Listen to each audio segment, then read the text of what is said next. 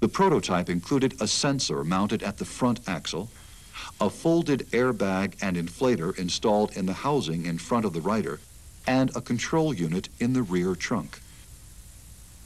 The airbag is a 120-liter bag. To maintain bag position during a crash, belts were attached to the bag and secured beneath the seat.